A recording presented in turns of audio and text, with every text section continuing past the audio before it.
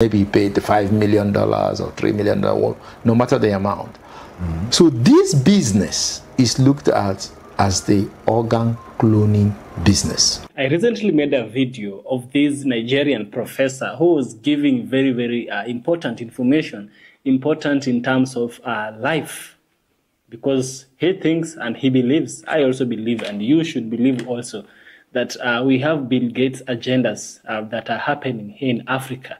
Bill Gates has turned Africa into his own uh, playground. He has turned Africans into his own, uh, you know, guinea pigs. And this is something that Africans should worry so much about.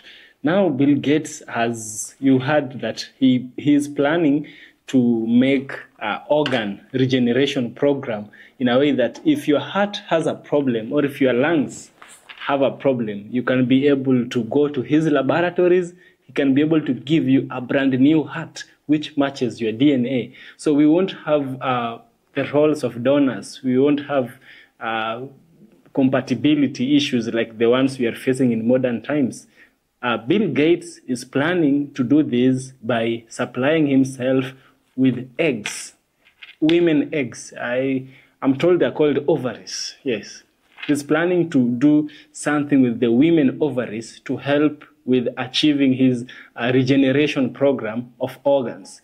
Now, there's this doctor, the same doctor I showed you in the previous video. He's going to elongate, he's going to elaborate as well uh, the roles and the dangers of this practice to Africans.